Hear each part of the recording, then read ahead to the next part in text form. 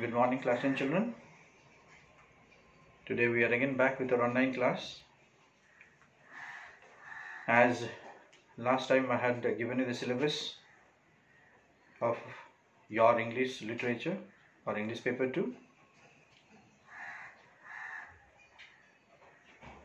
Today we'll start with our poetry section. Now, if you are with your poetry textbook, you may see the leftover chapters that we have to be completed in our session 2020-21. So these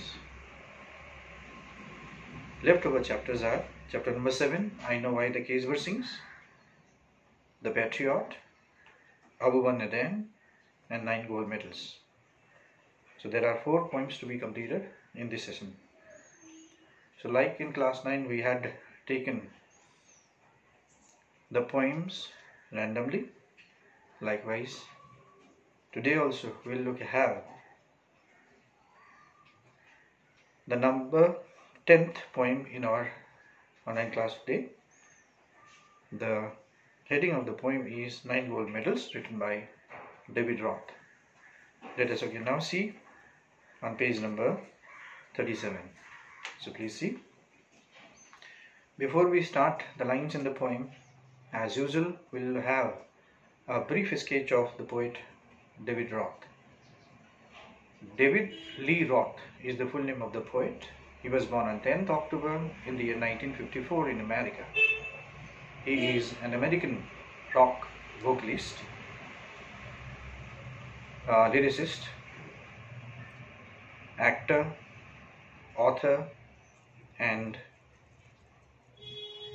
radio personality. In fact, to say, he is a DJ. He is a lead singer in the famous hard rock band called Van Halen, which is a California based band. He is a very successful soloist, which means a solo singer. He has given a very lovely poem for us, Nine Gold Medals. Now, when, he, when we talk about medals, everyone has a dream to win the medals. Here in the poem, it discusses about the Special Olympics in which we will see the last event to take place that is a 100 meter race. Now when we come to talk about 100 meter race, how can we forget Usain Bolt who recorded 9.58 seconds becoming the fastest man on earth. There are other names too like Noah, Christian Coleman, Justin Gatlin. These all are the people who have recorded the best in their 100 meter race. They are the fastest men on earth. The poem also discusses here about the 100 meter race. This is a very unique poem of the poet David Lee Roth. It is a narrative poem written in a lyric form. Let us now begin the lines in the poem and try to understand what the poet is wanting to tell us through this poem. Nine Gold Medals written by David Lee Roth. The poem discusses the last event in the Special Olympics and we see the stadium is packed to witness this last event of the Olympics. The line says, the athletes had come from so many countries. Here, athlete means persons. The sports persons had come from so many countries participating in this Special Olympics to run for the gold, for the silver and bronze, and they have participated to win gold, silver, and bronze. Many weeks and months in training all building up to the games. So they have trained themselves for many, many weeks and for many, many months. And today they are fired with the zeal in preparing and getting the first three positions in the event and win gold medal, silver medal and bronze medal. All round the field spectators were gathered. Now in the stadium the spectators were all packed up. They are all gathered and they are highly excited to witness this last event of the Olympic meet. Cheering on all the young women and men, and they all cheered their respective country participants. Then the final event of the day was approaching, the last race about to begin. They have a long wait for the final event to take place, and it is about to begin. The last race, which is a 100 meter race, is about to begin. The loudspeakers called out the names of the runners.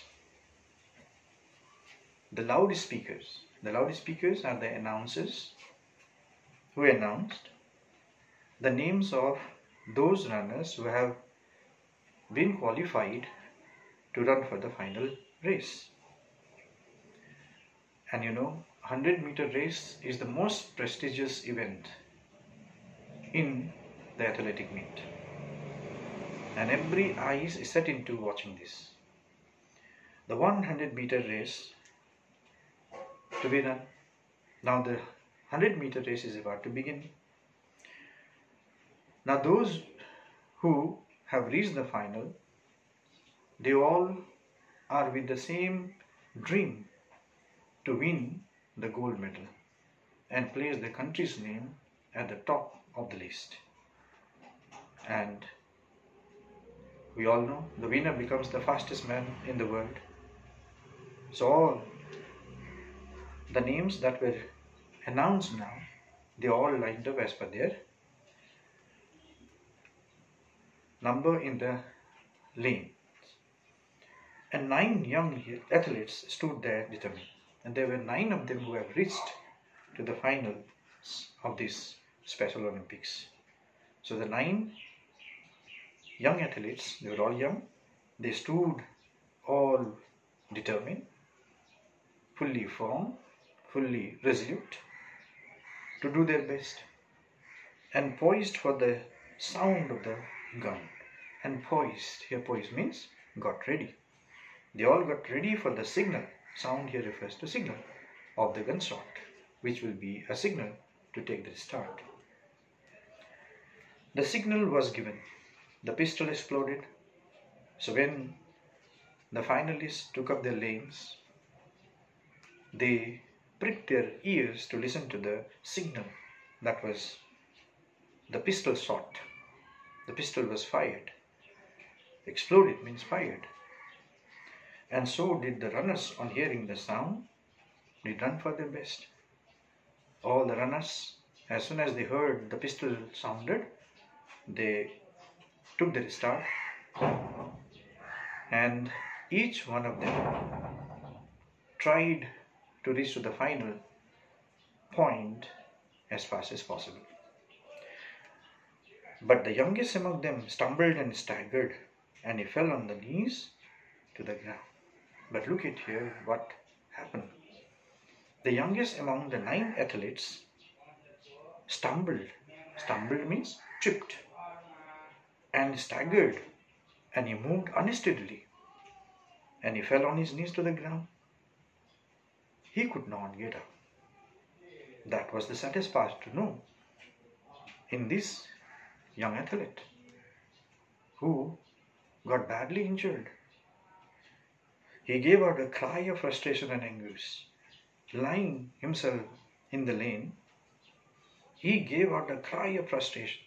A frustration means hopelessness and anguish. There was severe pain that he got badly hurt his dreams and his efforts dust in the dirt. So his dreams and efforts all got shattered because he has come here as a participant in the Special Olympics to win not only a name for himself but to raise the country to the top list in this event. But now his hope got shattered, his dream got shattered. But as sure as I'm standing here telling the story, now it is a strange one.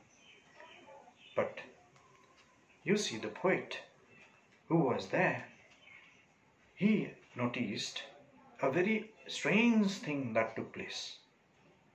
That was something unexpected. But here is what occurred. But here is what happened, the poet says. The eight other athletes stopped in their tracks. So out of nine, the youngest among them had fallen down. The eight other athletes, they zoomed past him. Suddenly they stopped in their own running tracks. The ones who had trained for so long to compete, the ones who had slogged and trained weeks and months and years for so long to complete this race.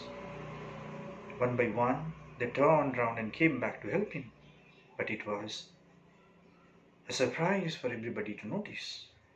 One by one of these eight athletes stopped and came back to help the fallen youngest athlete in the track and lifted the lad to his feet and they all lifted him up to his feet.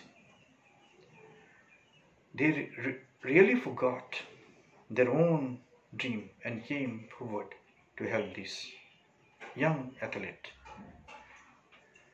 Then all nine runners joined hands and continued the 100 meter reduced to a walk.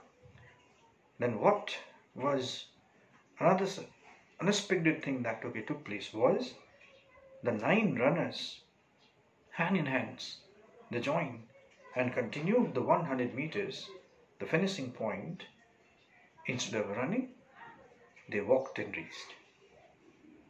And the banner above that said Special Olympics could not have been nearer the mark.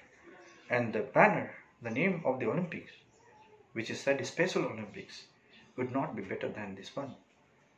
It really turned out to be true it was indeed a special Olympic because every spectator who was watching this event, the final event, the 100 meter race, they were stunned.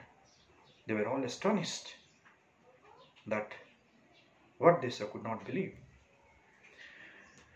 That is how the race ended. This is how the race came to an end. All the nine athletes, instead of running the 100 meter race, they joined hand in hands and walked to the finish line.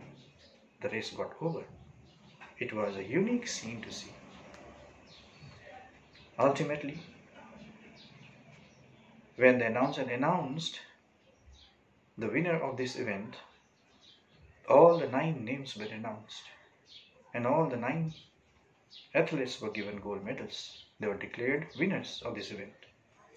They came to the finish line holding hands still, and the banner above the nine smiling faces said more than these words ever will, said more than these words ever will. They came to the finish line holding their hands, and the banner that read Special Olympics indeed turned out to be Special Olympic. This is how the poem ends.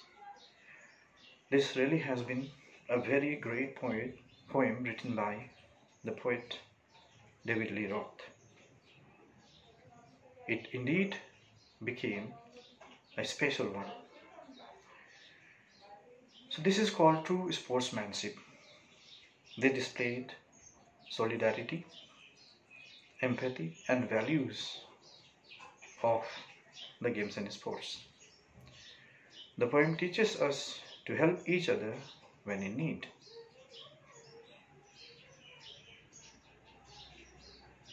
The poem also tells us that victory lies in being helpful and cooperative. Had there been, or had these nine athletes been of their selfish nature, they would not have helped the fallen youngest athlete. But look at the way how they ended this event. It was remarkable, praiseworthy, outstanding. Thus, the poet is telling us that games and sports, though played for winning, but at the same time, when in need, you need to help each other. This is the motive of the poem to all the readers. Hence, we have covered the poem. The exercises to this poem will be given to you. You work as per the explanation as given in the poem. Thank you very much.